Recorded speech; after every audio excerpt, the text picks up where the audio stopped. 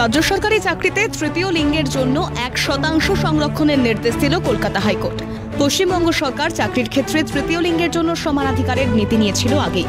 সেই প্রসঙ্গ উল্লেখ করে হাইকোর্ট রাজ্য সরকারের কাছে জানিয়েছে, নীতি নেওয়া সত্ত্বেও তৃতীয় লিঙ্গের জন্য কোনো সংরক্ষণ করা হয়নি। বিচারপতি রাজশেখর মান্থা রাজ্যের মুখ্য সচিবকে এক শতাংশ সংরক্ষণ সুনিশ্চিত করার নির্দেশ দিয়েছেন। রাজ্যের মুখ্য সচিবকে নির্দেশনা পাওয়ার পর দ্রুত পদক্ষেপ গ্রহণ করার নির্দেশ দিয়েছেন বিচারপতি।